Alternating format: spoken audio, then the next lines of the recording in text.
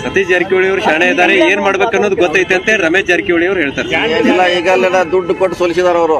ಲಕ್ಕ Jarkiholi Ramesh Jarkiholi M P ಅಲ್ಲಿ ದುಡ್ಡು ಕೊಟ್ಟು ಸೋಲಿಸಿದ್ದಾರೆ ಆ- ನೋವು ನಮಗೂ ಇದೆ ನಮ್ಮ ಕಾರ್ಯಕರ್ತರು ಕೂಡ ಇದೆ. ಹಂಗೇನು ಹೇಳುವಂತದಿಲ್ಲ ಬಹುಶಃ ಲಕ್ಕ ಜಾರಕಿಹೊಳಿ ನಿಲ್ತಾರ ಡೌಟು ಇವತ್ತು ನಾಮಪತ್ರ ಆಮೇಲೆ ತಕ್ಕೊಳ್ಳಿಕ್ಕೆ ಅವಕಾಶ ಇದೆ. ಅವ್ರಿಗೆ ಏನ್ರ ಅವ್ರ ವರಿಷ್ಠ ಅವ್ರಿಗೆ ಏನ್ರ ಮುಂದೆ ಒಳ್ಳೆ ಅವಕಾಶ ಕೊಡ್ತೀವಿ ಅಂತ ಭರವಸೆ ಕೊಟ್ರ ವಾಪಸ್ ತಗೊಳ್ಳೋದು ಎಲ್ಲ ಸಂಭವ ಕೂಡ ಇದೆ.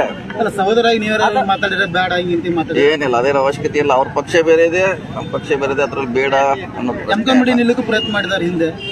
ಯಾಕಂದ್ರೆ ನಾವು ಕೂಡ ಲಾಸ್ಟ್ ಟೈಮ್ ಕಾಂಗ್ರೆಸ್ ಇಂದ ಗೋಕಾಕದ ನಿಲ್ಲಿಸಿದೀವಿ ಅಂತಿಮವಾಗಿ ಅಲ್ಲಿ ಸ್ಪರ್ಧೆ ಮಾಡಿದ್ದಾರೆ. ಅವ್ರು ಬಿಟ್ಟಂತ ವಿಚಾರ ಅದು. ನಾವ್ ಹೇಳಿಕ್ಕಾಗೋಲ್ಲ ಇಲ್ಲೇ ಯಾಕಂತ ಅಲ್ಲಿ ಯಾಕಂತ. ಅಂದ್ರೆ ಕುಟುಂಬ ಬೇರೆ ಮತ್ತೆ ಈ ಪಕ್ಷನ ಬೇರೆ ಮಾಡ್ತಾರೆ ಪಕ್ಷ ಬೇರೆ ಬೇರೆ. ಪಕ್ಷ ಆಧಾರ ಮೇಲೆ ಚುನಾವಣೆ ಕುಟುಂಬ ಆಧಾರದಿಂದ ಚುನಾವಣೆ ಅಲ್ಲಿದೆ ಈ ಚುನಾವಣೆ ಪಕ್ಷ ಆಧಾರಿತ. ಪಕ್ಷ ಆಧಾರಿತ ಅಂದ್ರೆ ಪ್ರಶ್ನೆ. ಕೆಲವು ಜನ ಆಧಾರಿತ ಅಂತ ಇದ್ದಾರೆ. ಪಕ್ಷ ಫಸ್ಟ್ ಆಮ್ಯಾಗೆ ನಿಮ್ಮ ತಂತ್ರಗಾರಿಕೆ ಚಾಣಾಕ್ಷ ಸೆಕೆಂಡ್ ಅದು. ಫಸ್ಟ್ ಪಕ್ಷ.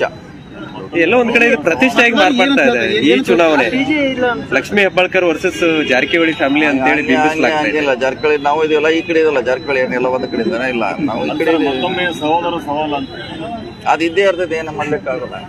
ರಾಜಕೀಯ ಇರೋವರೆಗೂ ಸಹೋದರ ಸವಾಲು ರಾಜಕೀಯ ಸವಾಲು ರಾಜಕೀಯದಲ್ಲಿ ಇದ್ರೆ ಇದು ಸವಾಲುಗಳ ಫೇಸ್ ಮಾಡ್ಲೇಬೇಕು.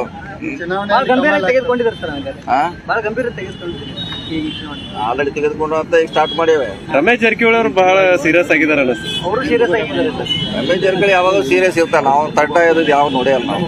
ಫುಲ್ ಸೀರಿಯಸ್ ಇರ್ತಾನೆ. ಈಗೂ ಸೀರಿಯಸ್ ಇದಾರೆ ಹೊಸದ್ ನಮಗೇನು ಹೊಸದಿಲ್ಲ ನಿಮಗೇನು ಏನು ಹೊಸದಿಲ್ಲ ಸೀರಿಯಸ್ನೆಸ್ ವರ್ಕೌಟ್ ಆಗ್ಬೋದಾ ಸರ್ ನೋಡಿ ಅವರು ಇಬ್ಬರು ಸ್ಪರ್ಧೆ ಮಾಡಿದ್ದಾರೆ ಒಂದೇ ಪಕ್ಷದಲ್ಲಿ. ಈಗ ಚಾಲೆಂಜ್ ಇರೋದು ಅವ್ರಿಗೆ. ನಮಗಲ್ಲ.